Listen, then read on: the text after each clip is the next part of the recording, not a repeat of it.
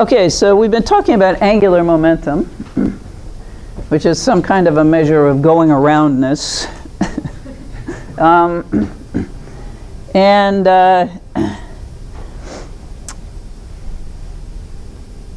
and there is angular momentum in situations where you think there ought to be. Something spinning has angular momentum, something orbiting, something else has angular momentum. uh, the formalism is a little abstract because, as you recall, in order to say which way something is rotating, and to say it in a way that works mathematically. So there's no mathematical operators for clockwise and counterclockwise. So what we use is to define a direction of angular momentum. Remember that we we decide on the plane in which something is orbiting or rotating. and then the angular momentum is mathematically considered to be a vector that's perpendicular to that plane and whose direction is determined by using your right hand. So if something is going around that way, your fingers curl in the direction of motion, and angular momentum would be into the page relative to some location. And that's the other thing. We have to specify a location around which we're going to calculate angular momentum. Usually, um, when we're solving a problem, it's fairly clear what we want to take as the location. Um, and for a spinning thing, it's easy for for something that's orbiting, what we have to do is take location A, draw a vector r from location A to wherever our object is, and then take the cr vector cross product of r cross A, which means to find the direction, and in fact to check the direction, we're going to point our, our fingers in the direction of this vector r, which is the first vector. so ideally, we're really going to put them tail to tail, but so you can imagine putting r that way. So we point our fingers in the direction of r. We keep our wrist rigid, but we curl our fingers toward p, and our thumb sticks out in the direction of the, the cross product, which is a direction that's perpendicular to the plane defined by those two vectors. And that's the mathematical formalism we use to calculate uh, angular momentum. And remember that that um, the magnitude of r cross p is the magnitude of r the magnitude of P sine theta. Um, and the direction is given by this right hand rule. And then there's another way of really calculating it out where we have RA cross P is a vector where we have, I'm going to leave off the, the A just to not have thousands of subscripts here. So the x component is ry pz minus rz py. The y component is going to be rz px minus rx pz and the z component is rx py minus ry px. And by using the right-hand rule, often, I mean, we're going to try to make this easy by using sort of obvious planes most of the time. And so if we're using the right-hand rule, you can tell which component is going to be non-zero, so you end up really usually only having to calculate one component this way.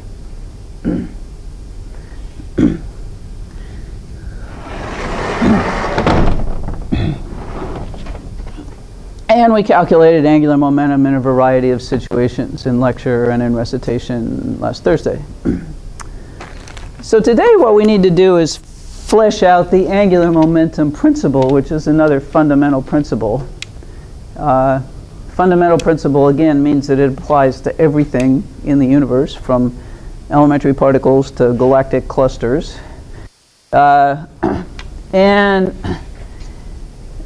we can write it the way we're used to writing principles, which says that if we consider two situations, initial and final situation, the angular momentum of our system in the final situation is equal to its initial angular momentum plus inputs from the surroundings. And these inputs from the surroundings in this case come as a torque. So our task today is to understand torque, when there is a torque, when there isn't a torque, um, and what it does. And it's not very surprising. This looks a lot like one way of writing the momentum principle, right? Because we've got another delta t here this time. So the torque applied for a given time changes the angular momentum. And a torque is basically just a twist. So how do we figure out torques? Well,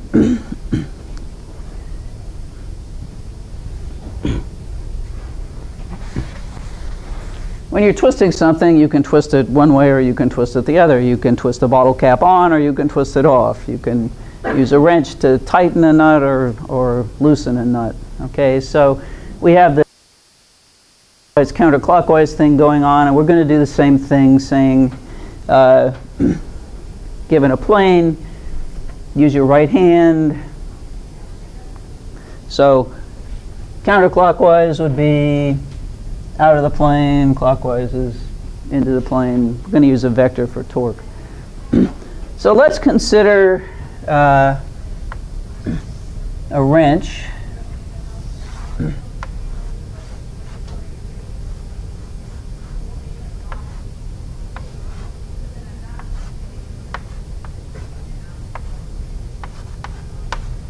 which is exerting, which is twisting a nut. Um,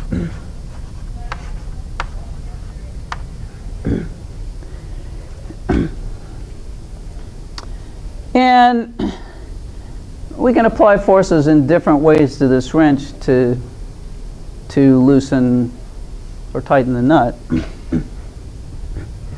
so we could apply a force by pushing down on the handle like that. We could apply a force here instead by using the same magnitude of force but pushing here. Um, we could in principle apply a force, we'll call that F1, F2, by pushing that way. And these forces have different effects.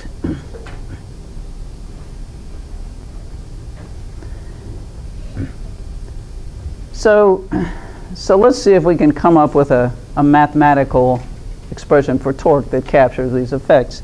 Now, suppose I'm trying to, to loosen this nut.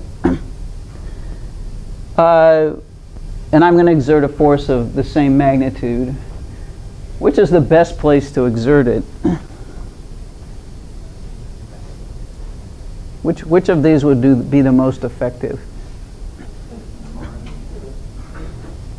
Yeah, so F1. So if I if I push down here, that's that's going to give me the most bang for the buck. That's going to be the most effective. If I push here, will it work? Yeah, but not quite as well. What if I push that way? I won't do anything, right? okay. So so we want this to be the biggest torque and this to be a little bit smaller torque and this to actually be zero torque to come out to this. so torque around some location A, and what do you think we ought to take as location A here? We're, we're twisting around what location? Yeah, the, the here. So that's going to be location A. it needs to involve the force And somehow it needs to involve the position where we're exerting the force, right? And so presumably there's some vector that goes from from location A to the location where the force is applied. And so it should involve this, this vector, R sub A,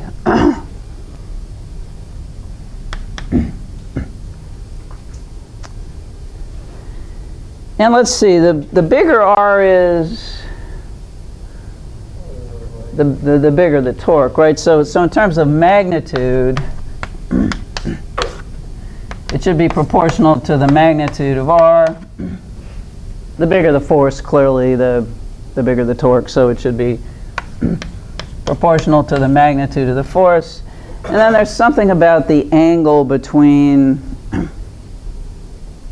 R and the force because this force is at the same location and it has the same magnitude, but it's actually not doing anything. and so the angle between R and F here looks like 180 degrees. And we want that to come out to a zero. So, so guess what? We've got sine theta again, where theta is the angle between R and F. Um, and that looks like a cross product. What that would give us if we said R cross F is into the board, that corresponds to a clockwise twist, which is what we want. So in fact, torque is yet another cross product of the vector from the location around which we're taking the torque to the point where the force is applied, crossed by the force. So this is exactly the same operation um, when we calculated angular momentum.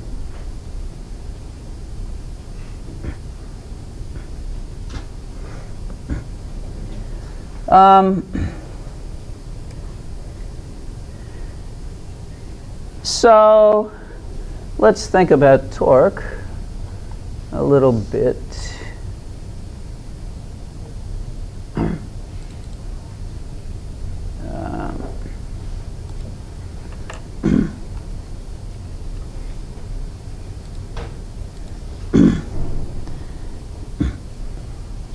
So here's um, here's a yo-yo.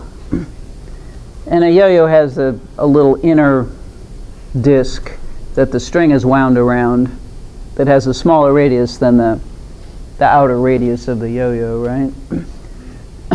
so the string is wrapped around this inner cylinder of radius small r. and at this instant, you are pulling up on the string. The yo-yo is falling, maybe maybe going up. The yo-yo is doing something, and you're pulling up on the string. Okay?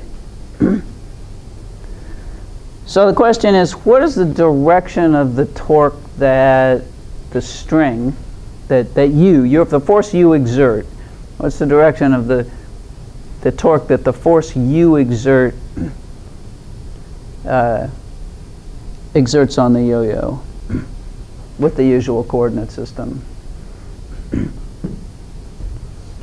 So think for a minute, what's R, what's F, what's the direction of the twist, does this make sense?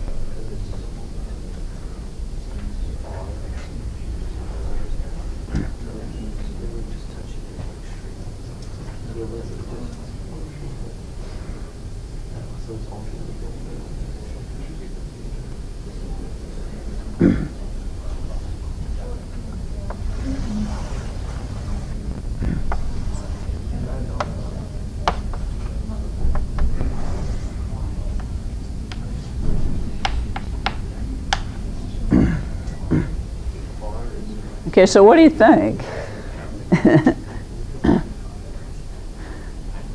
okay, so we're getting, I'm getting some sixes, some twos, five. Okay, so, so first of all, we need to, so I, I think more sixes than anything else, but, um, so first of all, what location are we going to take as the location around which to determine a torque? What, what is A here?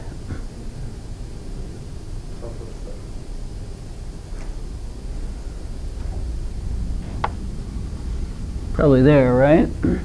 Because that's what the yo-yo is going to rotate around. That, so the center center mass of the yo-yo. So that's that's location A. Okay, what is the vector r?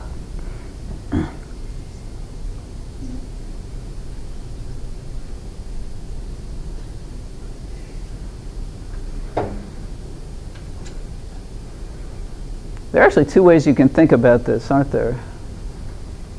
So depending on what you choose as your system.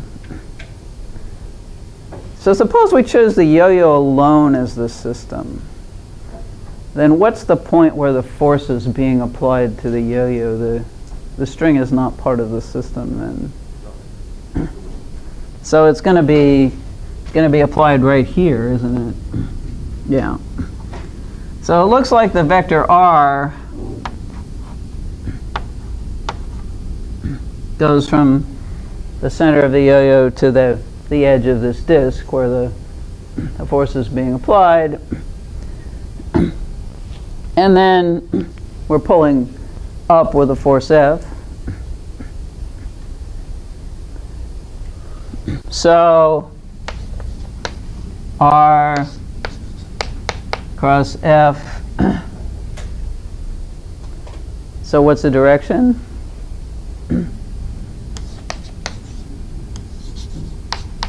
Put them tail to tail. R cross F out of the board, yes, plus z. So if you said 5,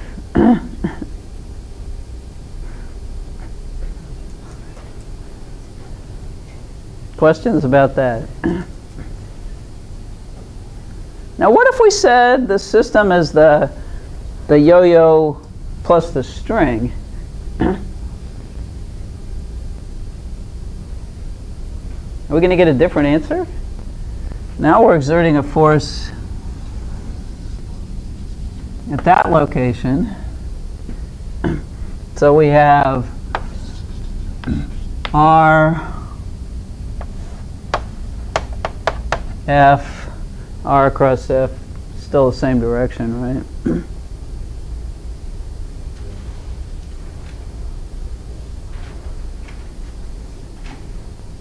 Questions?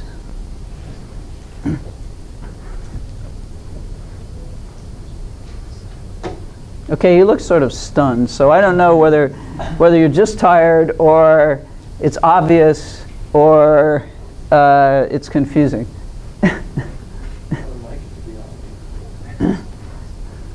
okay. Um,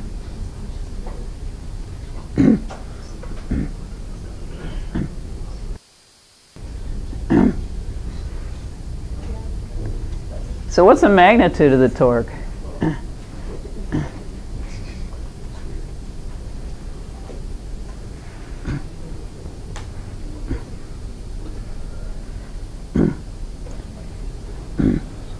So the force is magnitude is 0.6 newtons. And little r is 5 millimeters and big R is point three and a half centimeters.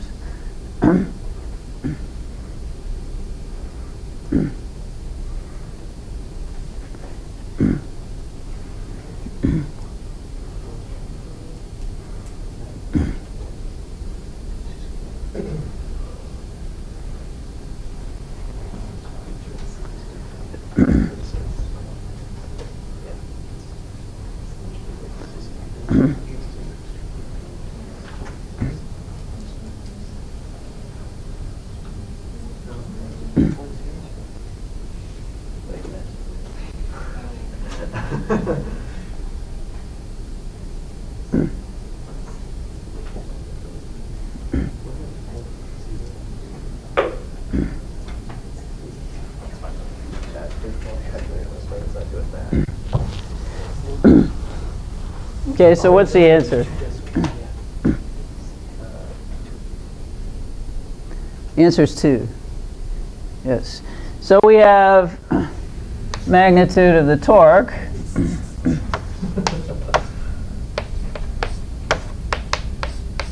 magnitude of r times the magnitude of f. So that's 0.005 meters times 0.6 newtons.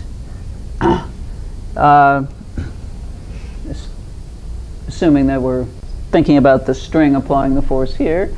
and that gives us 0.003. What are the units of this thing anyway? Newton meters? Newton meters.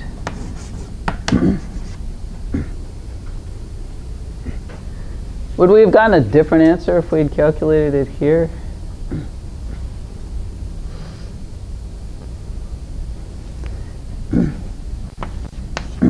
So we want the z component, right? So that's going to be rx fy minus ry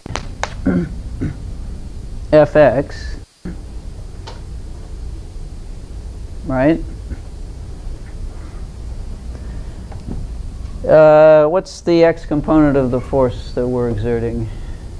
Zero, so that's a zero.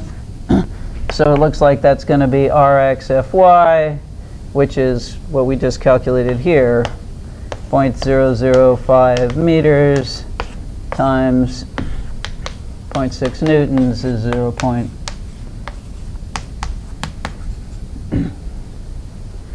So look, the component of r perpendicular to the force that actually is going to come into it here, yes. So why would the magnitude change if the angle sine theta changed uh, example of the strength? Um, so if you're calculating it this way, so, so when we calculate it this way, we see what components come into it. And so the question is, but the angle changed here because theta is now that angle. So the angle's a lot smaller, right? So sine theta is a lot smaller. But what got bigger? Yeah, the magnitude of R got bigger.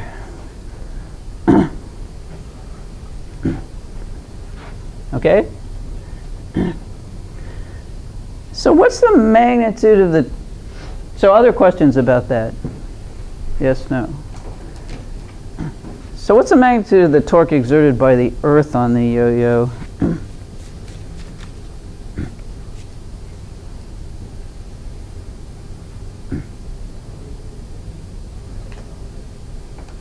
So if we just release the yo-yo in the middle of the air,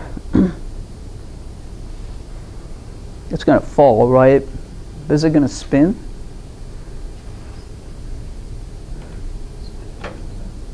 So what's what's making it twist? So here's here's the yo-yo.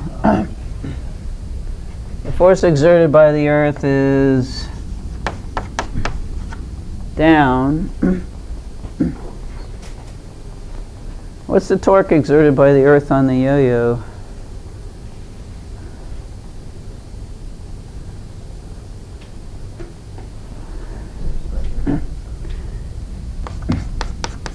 So we consider gravitational forces to be acting at the center of mass of an object. Um, this, you can prove that that you can prove that that's a legitimate, that that's how it works out. Um, in which case, the magnitude of r, which goes from the center of mass of the yo-yo to the point of application of this gravitational force, is zero.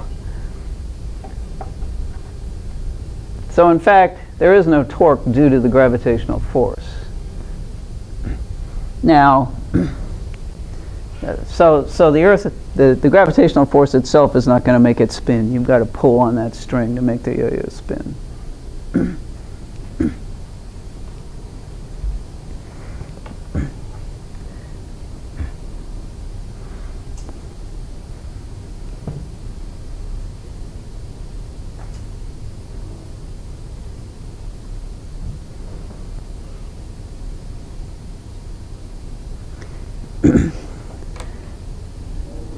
so uh, this week in lab, you are um,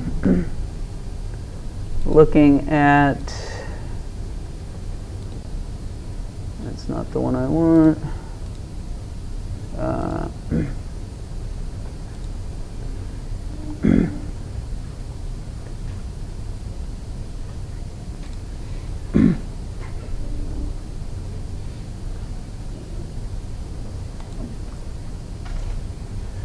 Okay, so the, the, as usual, the Monday lab are pioneers, and what you're doing in lab this week is you're looking at angular momentum in an orbit program like the one you wrote, a spacecraft orbiting the Earth. You, you're starting from a, a simple version of that, a little bit cleaned up from the last version you had, but um, and make, we're going having having it orbit in the xz plane just to make life simple.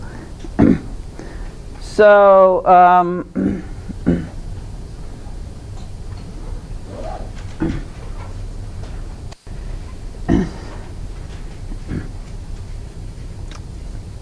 So one of the things that's interesting is to take the location A at the center of the Earth. And we see here that the angular momentum seems not to be changing. What if we take it some other location? Here. So some people who've done it say it's going to change. Um, and it does.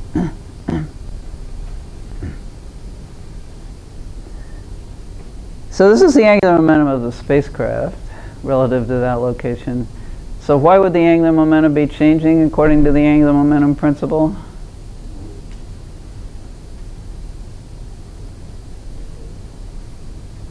Well, what does it say right here? So L final is L initial plus net torque times delta T. We can write that, of course, as um,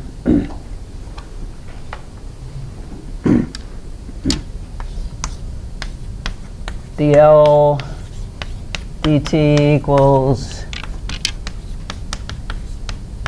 the net torque acting on something.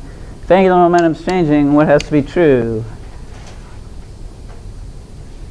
non-zero net torque, right?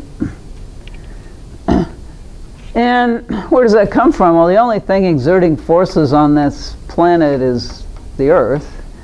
So it must be that when you take R here to some location here, R, if this is R and the force is that way, R cross F is not zero. And so there is a torque. So the point at which you choose angular, at which you choose angular momentum depends on, tells you whether there's going to be a torque or not. And you'll get a chance to experiment with that in lab. All right. Uh,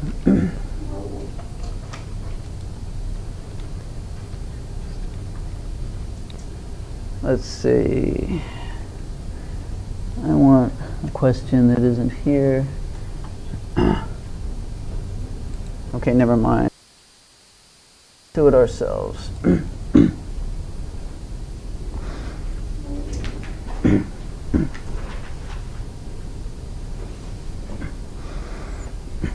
so suppose we have an object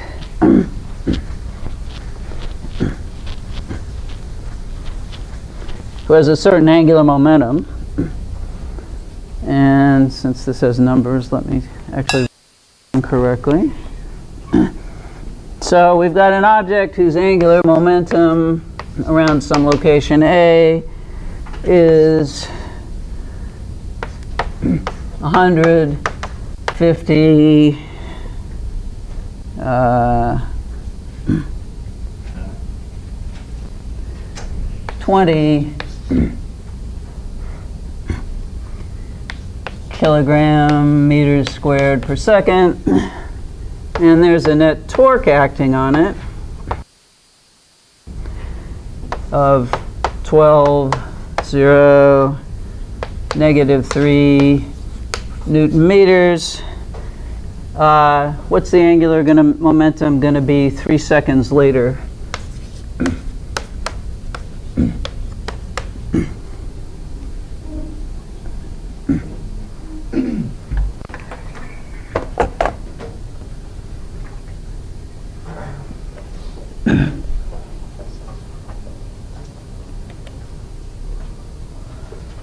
So how do we calculate it?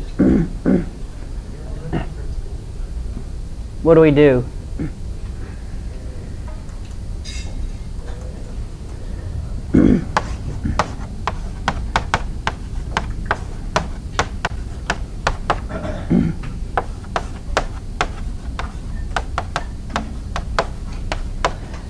So we just have to add initial angular momentum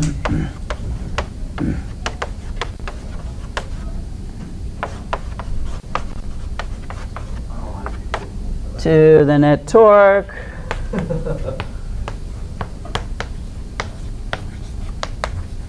times 3 seconds. so 3 times 12 is 36, so we're going to get 136. 50 plus 0 is 50. 20 plus negative 3 times 3, 20 plus a negative 9 is 11.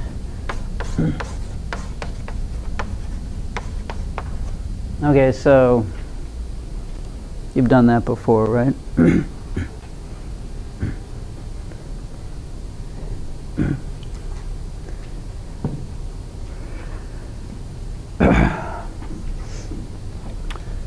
so in principle here, um,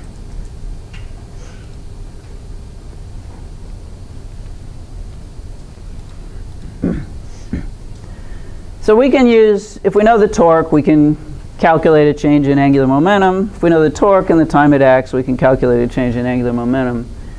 Remember this example of we have this object that has spokes and masses and we drop a lump of clay. Um, which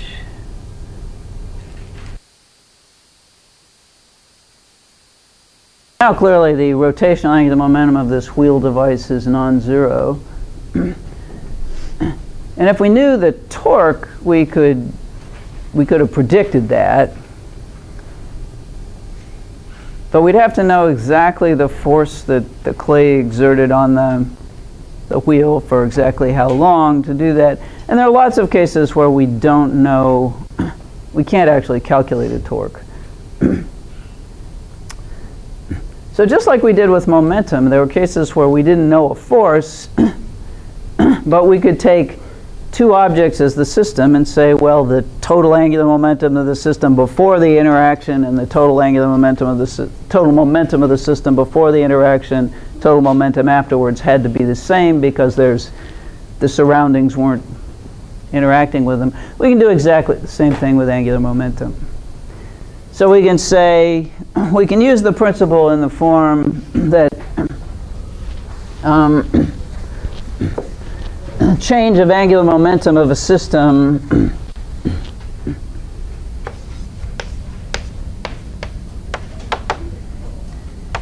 is the net torque from the surroundings. Choose our system to have enough, to have two interacting objects in it, and the surroundings aren't exerting a significant twist or torque on the system, then this can be zero, and then angular momentum is the same before and after the, the collision. So previously we've used, in collisions, we've used momentum first, just to, and then momentum and energy with the same scheme. And now we can use momentum, energy, and angular momentum.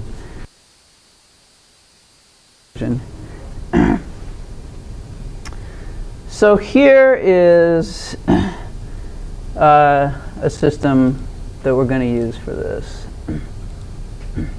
Um, let's see if I can find a picture here and then I'll try to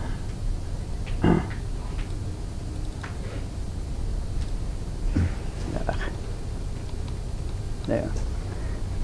okay, so this is a device like you see on some playgrounds. It's a disc on an axle, a merry-go-round thing. You can push it and then jump on it and ride around, okay? So, so here's our, here's our situation. um, the kid runs toward this, um, this merry-go-round thing, which is at rest, jumps on it, the merry-go-round starts to turn, and there are, a lot, there are various questions we can ask. We can ask uh, what the final angular speed of the merry-go-round. Um, we can ask about final momentum, we can ask about final kinetic energy, so we can actually use all of these things. So let's um, let's give this some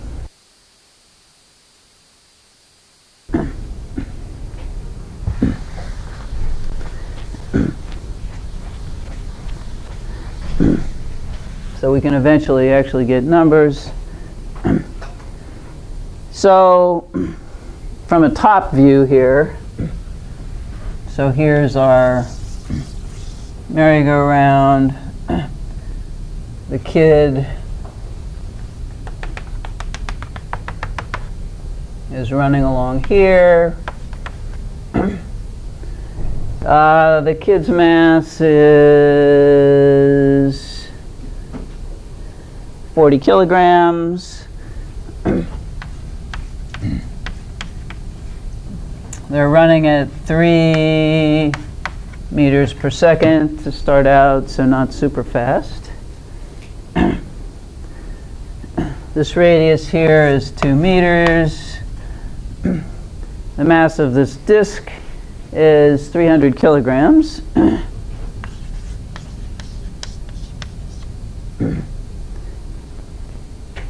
this the disk is initially at rest and we want to know the final angular speed of this uh, of this apparatus.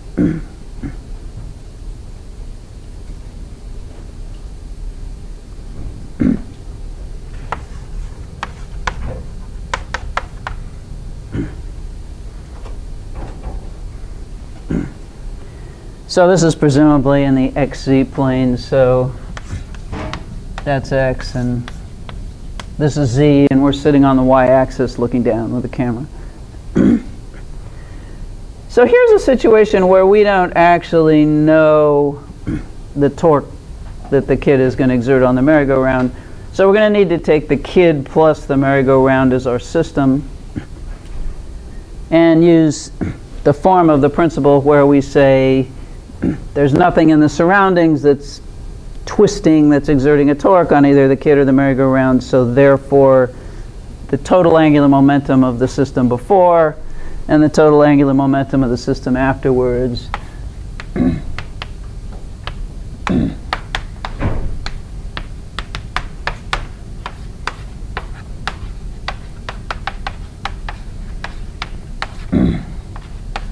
has to be have to be the same.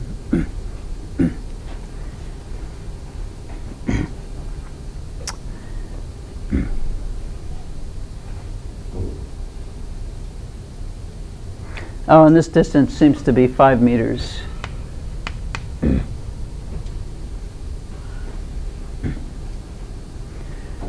So,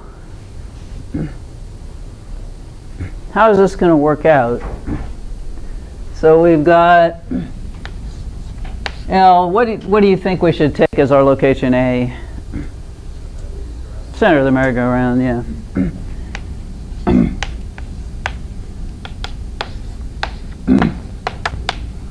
And so this is the initial, the final angular momentum of the kid plus the final angular momentum of the, the disk is equal to the initial angular momentum of the kid plus the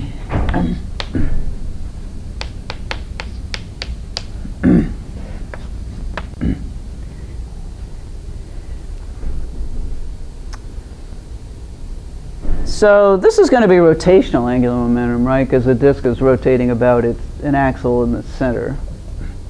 So this is going to be rotational. Uh, what's the initial angular momentum of the disk is fortuitously zero because it's at rest, so that part's nice. so the kit isn't at this point rotating on its own axis. so therefore, the kit has presumably translational angular momentum. And even though now it makes sort of it makes some sense that even even though the the kit is moving in a straight line, we can attribute angular momentum to the kid because that angular momentum is going to get transferred to the to the disk when the kid gets on. So it actually it sounds a little formal, but it actually makes some sense. So, so we don't know this stuff, but we can start out by calculating this.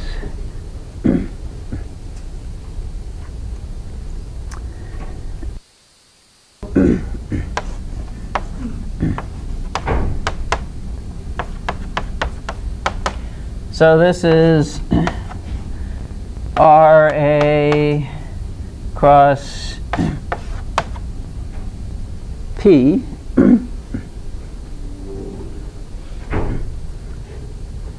So here's R sub A goes from location A to the, the kid's location.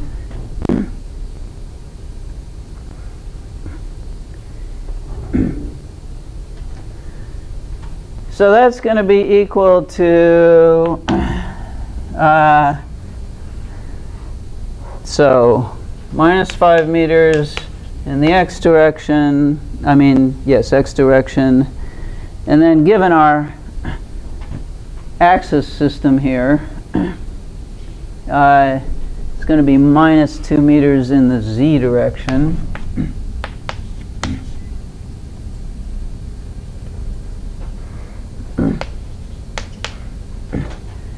And the kid's momentum, 40 kilograms times 3 meters per second, sounds like 12 kilogram meters per second. And that is in the plus x direction.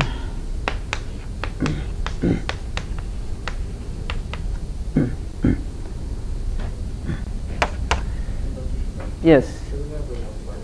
What? Right. Thank you.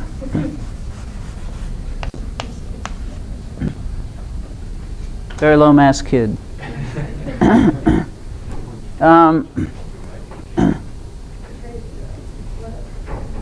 okay. so which component of this is going to be non-zero?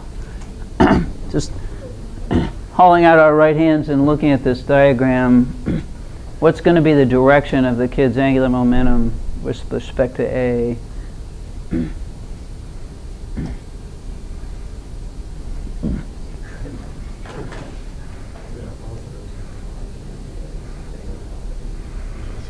Uh, we got to point our right hand along R, right? And then we need to curl our, so put R up here. We need to curl our fingers toward P, but I can't do it with my hand this way, so I have to do that. So then my thumb sticks into the board. So it's going to be uh, minus Y, isn't it? So it's going to be 0, and the Y component is going to be RZPX. So minus 2 times 120 minus Rx, which is negative 5 times PZ, which is 0. So we get 0, negative 240, 0 kilogram meters squared per second, right? For the initial angular momentum of the kid.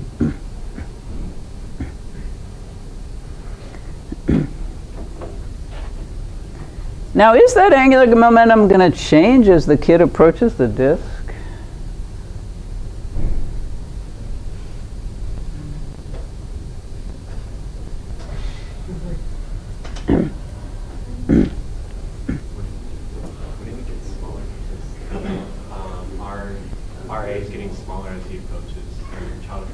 Yeah, so we, we kind of want the angular momentum of the kid right at the instant before they, they stick to the disk, right?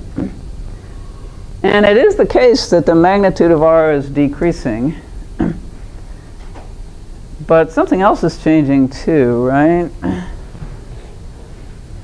What else is changing? What's happening to theta?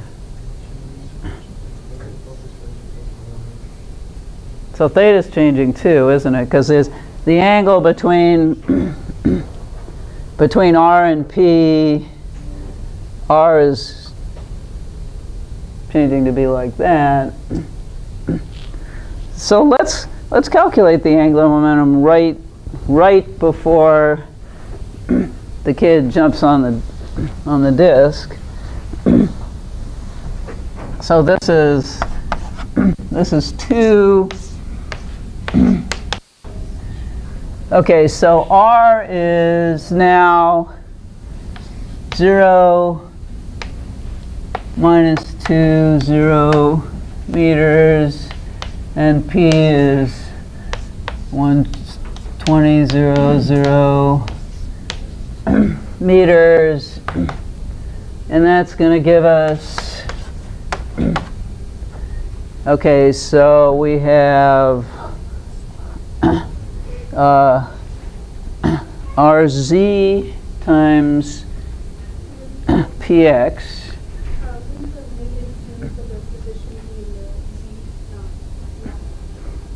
Yes, thank you.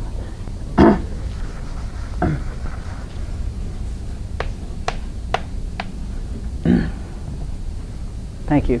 Um, so we have RZPX, which is negative 2 times 120 minus RX times PZ.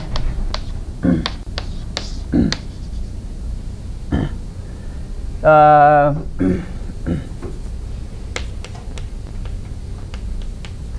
so we get 0, negative 240, 0, kilogram meters squared per second. So, so it comes out the same. So it keeps turning out that it's only this component of R that's perpendicular to P that really ends up contributing to that cross product. Or if you're thinking about it in terms of the R and sine theta, you have to remember that as R is changing, theta is changing also. So here theta is now 90 degrees, which just means we could get the magnitude really easily. It's just R times P times 1. Okay, so it turns out the angular momentum of the kid isn't actually changing as they run along toward the merry-go-round, so we're, we're good there. um, so we've got the, the initial angular momentum. so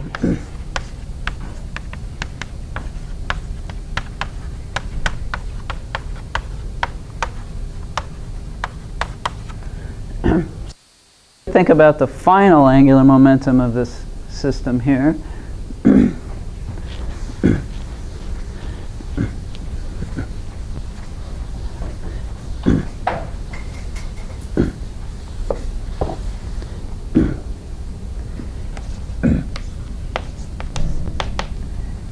And that's got that's got two ports. It's got the angular momentum of the kid plus the angular momentum of the disk. and we can write this as the moment of inertia of the disk times the final angular velocity because it's just spinning around its center. So this is going to be rotational angular momentum, right? and that's going to be, which way is the disk going to turn? that way. It's going to be in the minus y direction. and this presumably is now,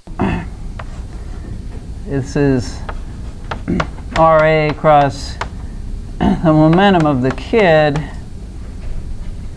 we know we know R because it's just that vector, but we don't know what the kid's momentum is. And it looks like we've got two unknowns and that's kind of a problem. But remember that for something that's that's going around, the speed is equal to the angular speed times the radius because it's 2 pi r over the period and that's the angular speed.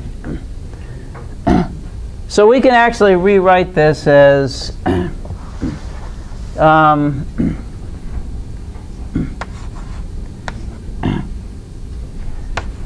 RA cross the mass of the kid times the radius of the disk times the final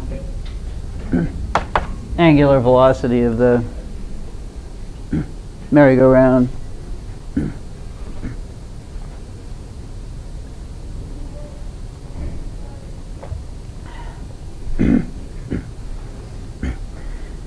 And we know these are both going to be in the minus y direction, so we can we can now happily take magnitudes.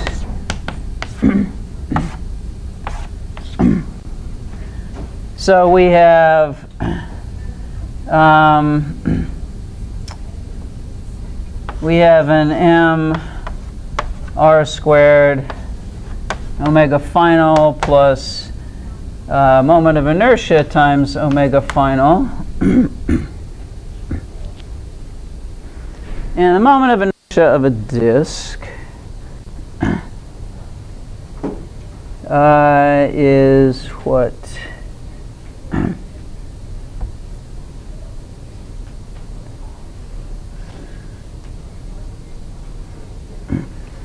think it's one half mr squared. Let's look it up.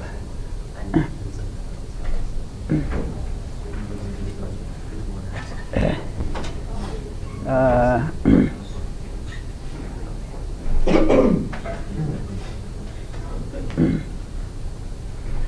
so let's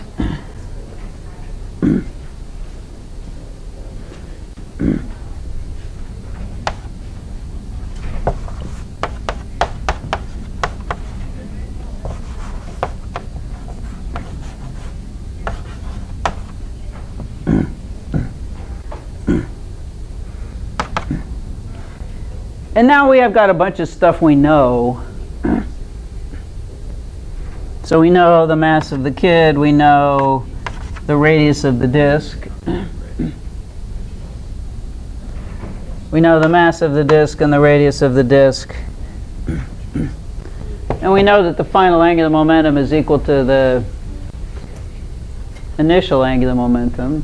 So this is going to be 240 kilogram meters squared per second. And we can solve for the final angular speed of the disk, right?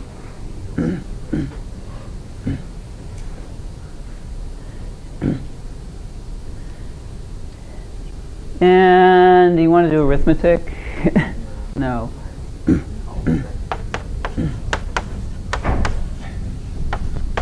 It's 0.316 radians per second.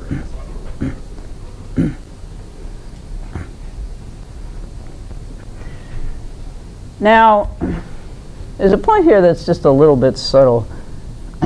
Why did we calculate? So we used we calculated the translational angular momentum of the kid who's orbiting around A and the rotational angular momentum of the disk.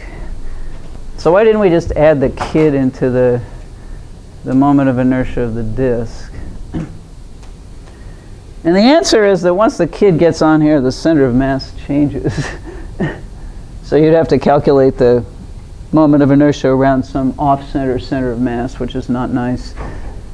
So it's actually much easier to just take the disk as the disk and the, the kid is a, a thing stuck to the disk but orbiting around. Now we left out something. We left out a piece of angular momentum. What do we leave out? Well, there are no external torques. Okay, the Earth is just pulling down. That's not making anything twist. So we, we accounted for the rotational angular momentum of the disk. We accounted for the translational angular momentum for the kid. so let's, this is a small effect, but it is there. let's, um, let's think about the kid, a baseball cap, okay? so here's the kid with uh, the brim of their cap pointing that way.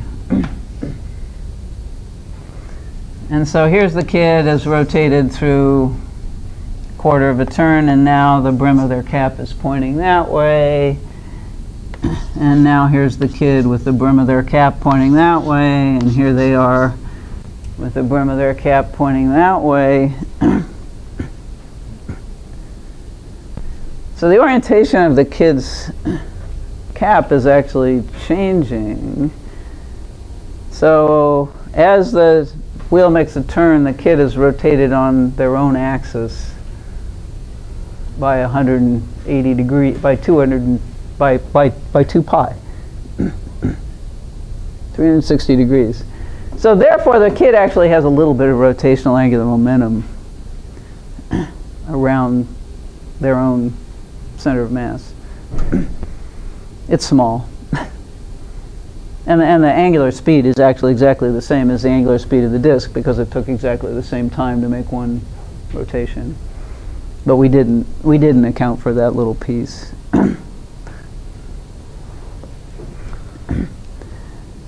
so is this collision elastic or not elastic? So not elastic, why? How do we know that? Because it's a sticking collision. The kid's stuck, which means the kinetic energy would change in this collision, right? Some of the kid's initial kinetic energy is going to go into internal energy of the kid disk system. so, so how would we calculate that? so here's omega final is how would we how would we calculate the change in kinetic energy the rise of internal energy of the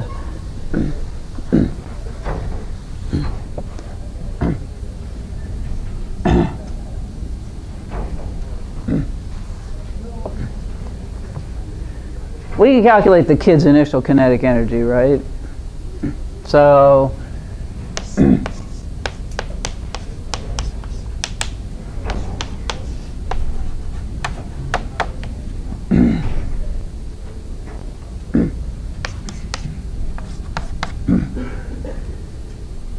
kinetic energy has two pieces. It's the rotational kinetic energy of the disk.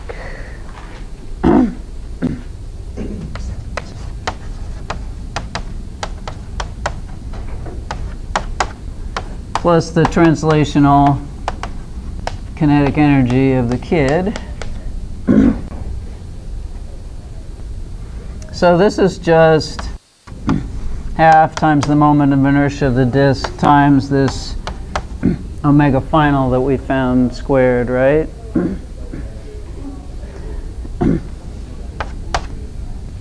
this is half mass of the kid v final squared. How do we figure out v final of the kid?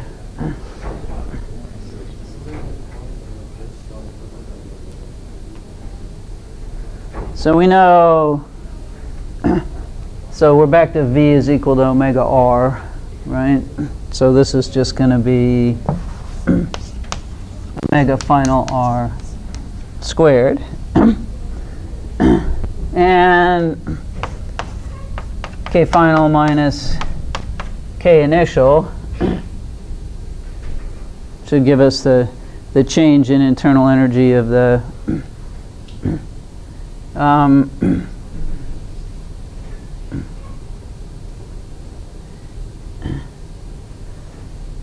so it turns out uh, if you work out the numbers that this comes out to what did I just say 100 and, this is 180 joules.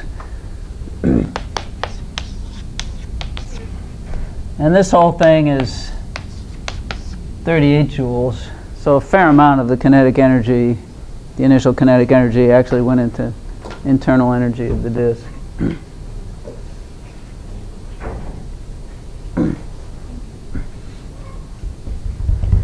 okay, so that's two principles. Let's think about the momentum principle. So We're going to take a moment right, right before the kid jumps on and then a moment right after the kid's jumped on the disc.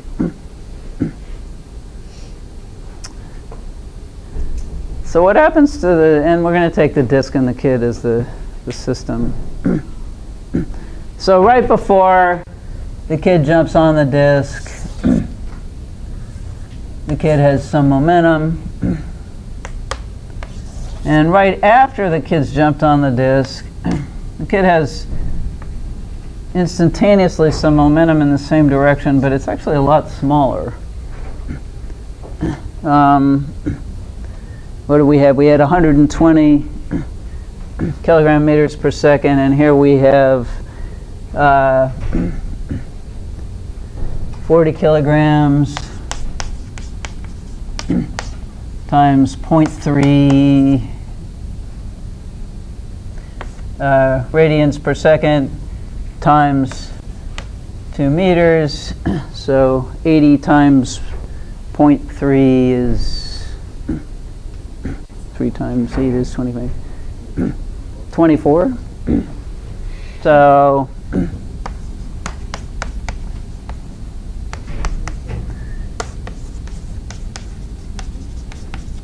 and the disk isn't going that way.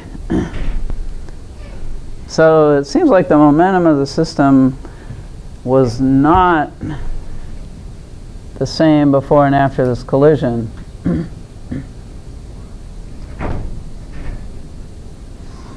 Why not? Yeah? No, see, momentum can't be converted into angular momentum, unfortunately. So momentum is momentum, and the momentum principle always applies regardless of whether something is spinning or or vibrating or anything, it's still so so momentum momentum doesn't get converted into energy. Momentum doesn't get converted into angular momentum. Angular momentum doesn't get con- yeah okay. They're all separate. so so what does the momentum principle actually say though? Right?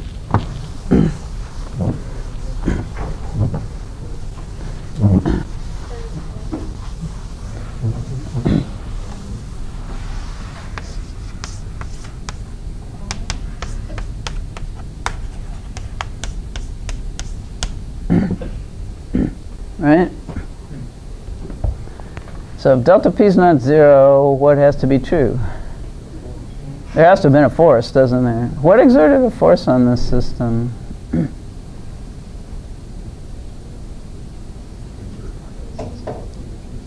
so if this was on ice, so here's a disk on ice, kid runs, jumps on the disk, disk is going to slide, right? It's going to spin, but it's going to slide. Okay, it's not sliding here. What kept it from sliding? A force by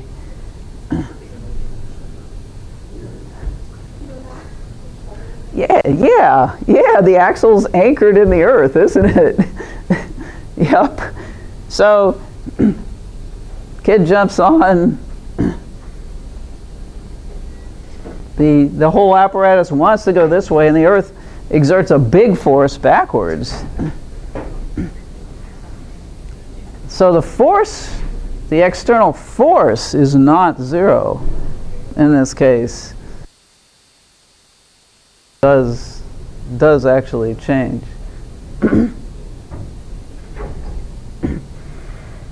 and we could calculate the impulse right? Because we know the momentum before and the momentum after, so we could actually calculate the impulse. Hmm? Yeah. So all three principles.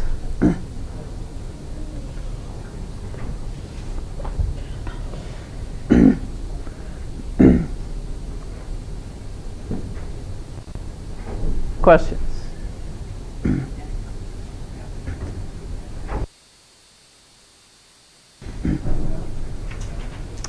So since we're talking about the momentum principle here, I would like to go back to a problem we had on the test and talk about it because performance was not awesome and it was just a momentum problem.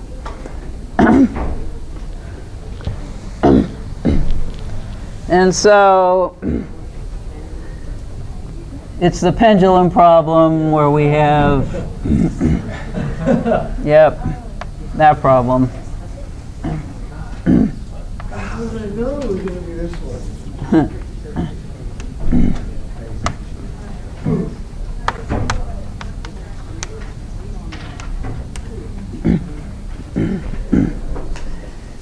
So what I want to talk about is reasoning from the momentum principle.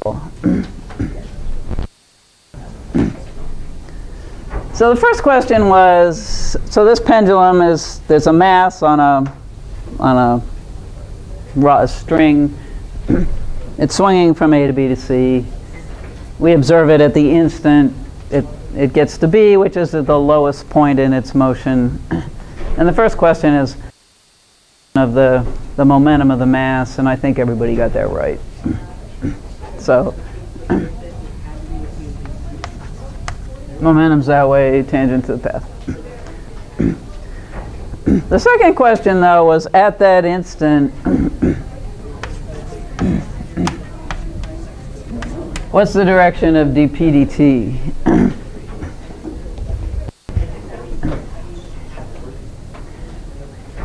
and that was not awesome, but remember we have we have a procedure for figuring this out. because the direction for dp is the same as the direction of delta p over delta t. And so if we take a time interval where this is at the center, so times equal times on each side of this. And we happen to know that it speeds up until it gets here and it slows down until it comes to a stop. So the magnitude of momenta is going to be the same at each of these, these locations. So we've got P initial going down, P final going up. We take these vectors, we put them tail to tail, we subtract, we get delta P.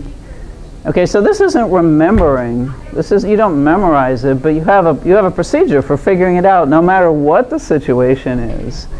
you know, we could be have some trajectory like that. It doesn't it doesn't matter. right? You have this procedure that always works. so you use this procedure and you say fine, delta p is up. So dp dt is indeed up.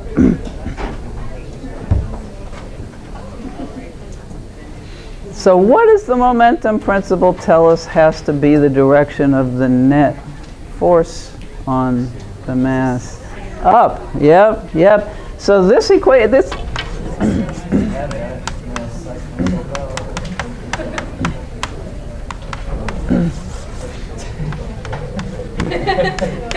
If that's up, that's up. right? And that means the sum of the forces, a vector sum of the forces acting on it has to be up.